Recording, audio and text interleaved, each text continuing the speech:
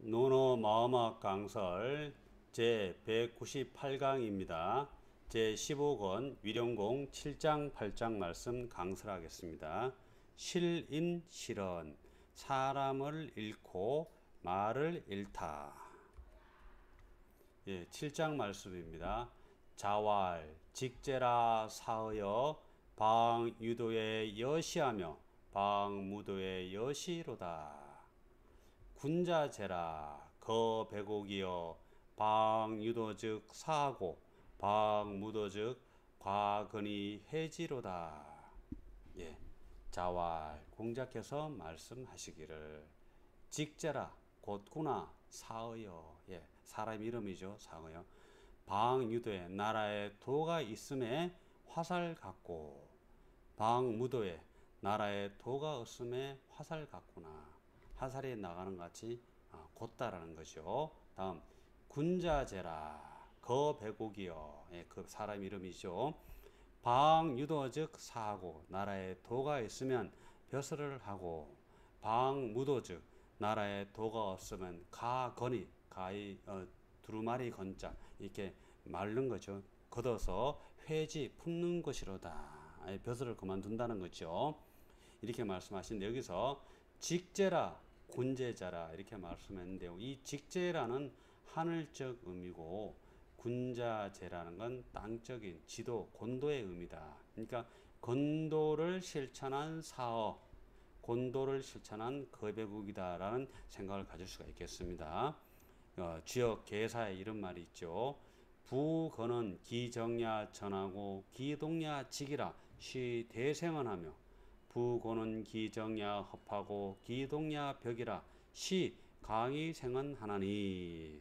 예 무릇 건도는 그 고요함에는 전이라고 그 움직임에는 고든 것이라 이로써 대가 생하고. 무릇 곤도는 그 고요함에 흡하고 합하고 기동야 벽이라 흡입니다. 합할합자 합할 흡할 합할 흡. 그래서 기동야 벽이라 열리는 것이라 시로 광 넓음이 생하는 것이니 해서 건도는 직 곤도는 벽 열벽자리 이렇게 말씀했어요. 직제라 할때 아, 이것은 바로 아, 하늘의 뜻을 아, 아는구나 이렇게 해석할 수가 있겠습니다. 그리고 군자제는 중지곤계에서 고는 원용코 이 빈마 지정이니 군자 유유왕이라 해서 어, 고는 군자가 갈 바가 있는 것이라고 이야기한 겁니다. 그래서 어, 군자하고 대응되는 분은 성인이죠. 그러면 건도는 성인 지도를 나타내고 곤께는 군자 지도를 나타낸다라고 했을 때 직제라 아, 아, 군자제라 뭐요? 직제라 건도는 방유도 도가 있으나 없으나 뭐다 여여하도 하살과 같고 항상 한 거죠. 그러나 곤도는 군자제도는 도가 있을 때와 도가 없을 때에 따라 다르게 행동한다는 것을 알 수가 있겠습니다. 다음 미령공 8장 말씀 보겠습니다. 자왈 가여 언이 불여 언이면 실인이요 불, 불가 여언이 여지 언이면 실언이니 지자는 불실언하며 역불실언이니라 공자께서 말씀하시기를 가히 더불어 말할 수 있는데 아, 불여언 더불어 말하지 않으면 실인 사람을 잃는 것이고 잃고 또 불가여언 더불어 말하지 말아야 되는데 여지언 더불어 말하면 실언 말을 잃는 것이니 지혜로운 자는 실인도 하지 않고 사람도 잃지 않고 또한 어, 말씀도 잃지 않는 것이니라.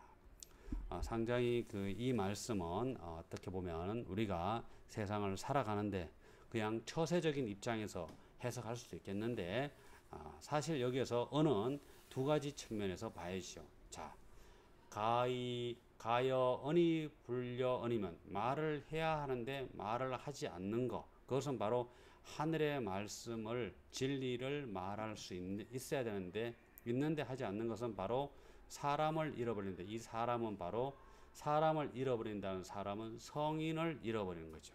하늘의 말씀을 전해준 성인을 잃어버리게 되는 것이고 또 불과 여언 더불어 말하지 않아야 되는데 여지언 말을 하는 것은 사실은 실언 말씀을 잃는다요.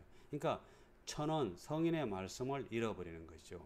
그러니까 어, 내가 어, 진리를 알아듣지 못하는 사람에게 진리가 어떤 얘기를 한다라고 했을 때는 그 성인의 말씀을 잃어버리게 되는 거죠. 그래서 실인 실언을 단순하게 사람을 잃어버리고 말을 내 말을 버리는 거다 이런 게 아니다. 뭐다?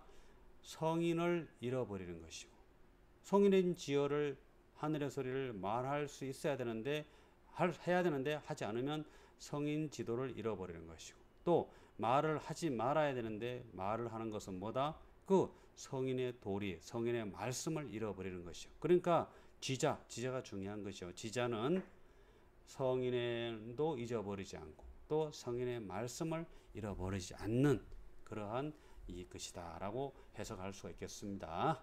예, 실인, 실언 어, 다시 한번 어, 생각해 보시면 좋겠습니다.